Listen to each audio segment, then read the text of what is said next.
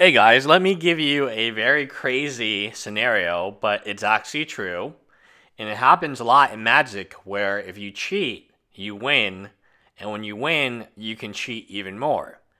So when Alex Bacchini wrote a basically a quote apology to the Magic community on Facebook after he came back the second time, so he was banned two times, cheated thousands of times, and now wrote a apology letter which then he was banned like a month later.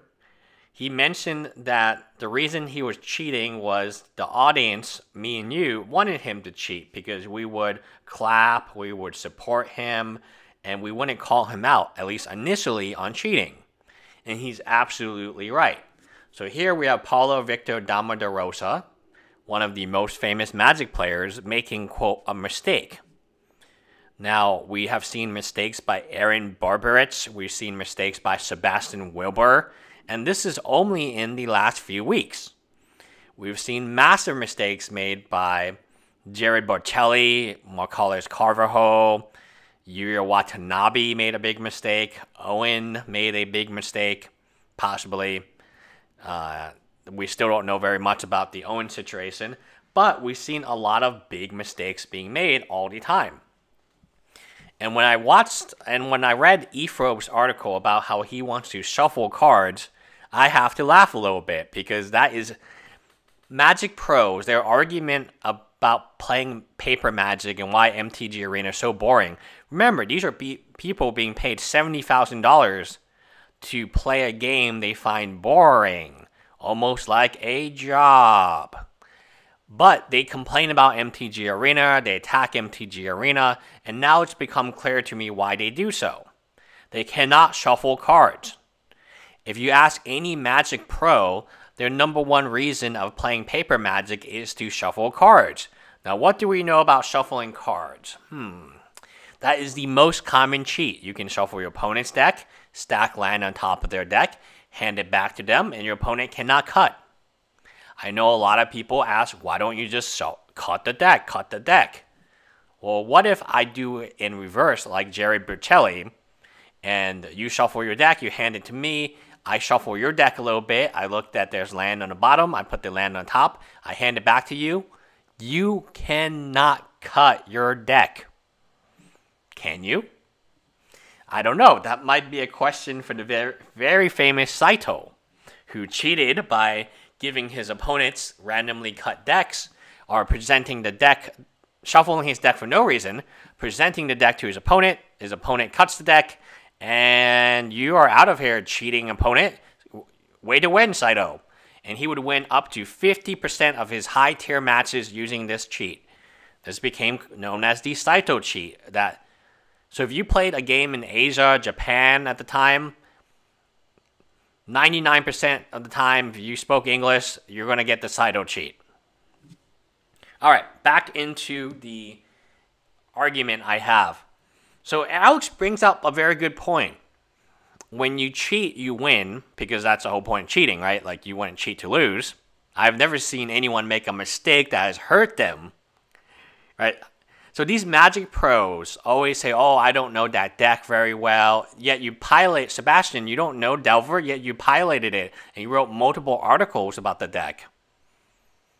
And you won a championship with this deck that you didn't know very well. Huh, that's awesome. Not total fake, completely fake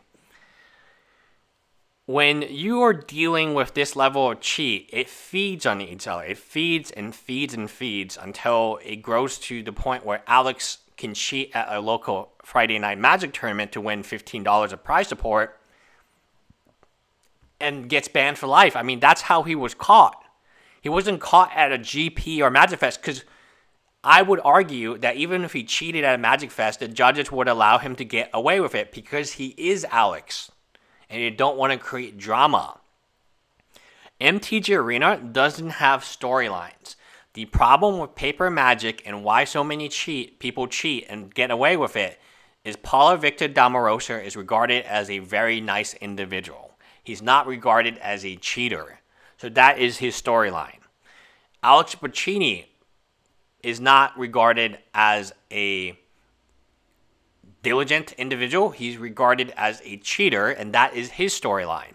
From the very beginning of Magic, if you listen to MaRo, the face of Magic, I would say that's very unfortunate, but he is all about storylines. He wanted to vote the greatest known cheater at the time, Mike Long, into the Hall of Fame because a Hall of Fame should tell the story of Magic. That is his words, not mine. And without Mike Long, you cannot tell the story of Magic, which is correct. So in Magic the Gathering, you have all these storylines, and all the judges have to go with these storylines. And these storylines can change at any moment. Look at Yuya Watanabe. Banned. Gone. Kicked out of the MPL and $70,000 over a cheat that really didn't affect his standing at all. Yet he still cheated. Then he went online to defend his cheat and then make accusations or subtle accusations that the judges like de-sleeved his deck and then re-sleeved them in the manner that would have the mind scalar and uh, the Urzers. I mean, it, it just was bad. It was bad for Yuya. But you know what? He's going to get a redemption arc. We're, we are living in not a who is the best at Magic wins Magic. And I can prove this. Magic online players who have done very well online have done very poorly in paper. But they understand the mechanics better than anyone because the online mechanics, just like MTG Arena, if Erin Barbaritz, the Star City Games champion, was playing MTG Arena, she, I, I, how I don't know how she identifies. I'm going to assume it's a she, does not win against Lyra. But in paper magic, there are times where you are way behind and you can still win. How? As Efro says, specifically, his love of magic is tied with shuffling the cards. Think about how crazy that statement is. That instead of playing a faster game of magic and having a more convenient time from your home, it's shuffling the cards and quote the community of magic. Well, MTG Arena, Wizard of Coast makes all the money, right?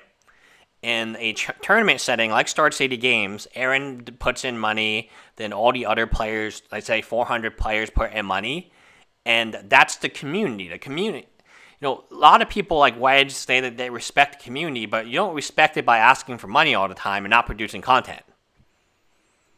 Dude, it's not that hard. Get medical insurance. You have enough money now. You still don't have it, do you? So, respecting the community is, in my opinion, not asking for donations all the blanking time.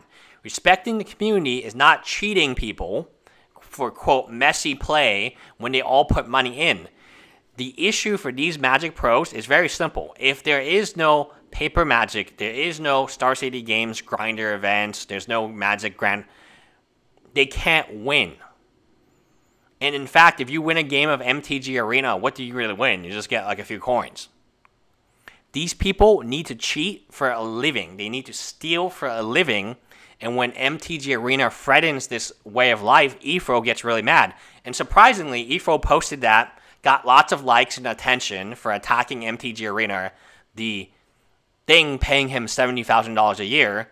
And then later it comes out that, oh yeah, by the way, streamer contracts are gone. Bye bye, Efro.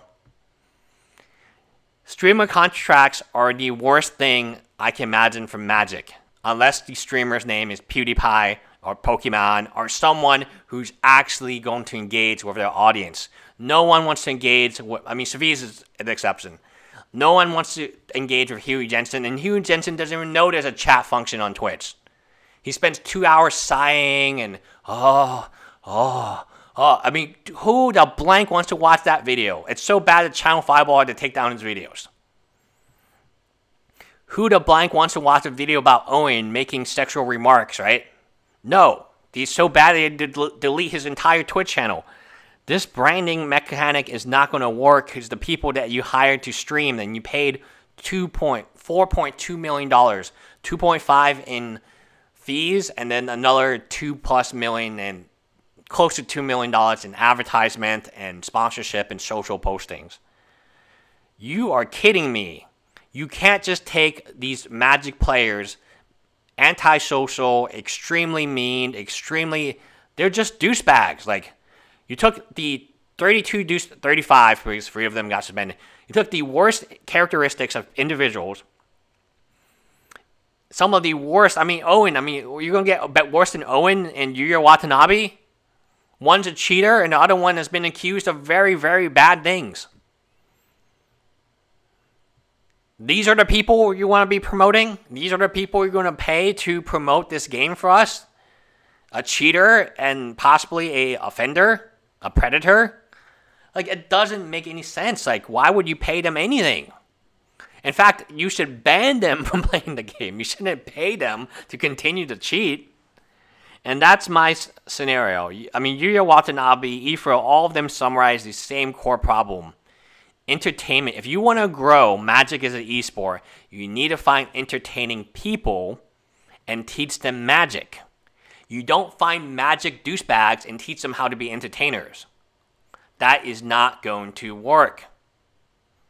You can't take the top 32 Magic players, antisocial, very, very predatory in nature. I mean, that, if that's the best thing I can say about them, then that's the best thing I can say about them and train them how to become Twitch streamers. None of them are going to break 100 viewers. That's just fact. You need to find the Pokemons and the Savizes, which I agree with, and his wife, uh, are the. Please not pro Jared. I mean, pro Jared is not good. I mean, he would have been good, but then something bad's happened. You gotta vet these individuals so many people online would be a better streamer than Efro or Huey Jensen or Paulo Damarosa. They exist and they want to actually promote magic because they're doing it for no money. When you put money in front of the Eric Froehlich cart, he'll want it. He'll smack your MPL league, he'll say terrible things about you in MTG Arena, and he'll take his money. That sounds very familiar, almost like a wedge like individual we can think about who doesn't send out cards to his, his quote patrons. Bye, guys.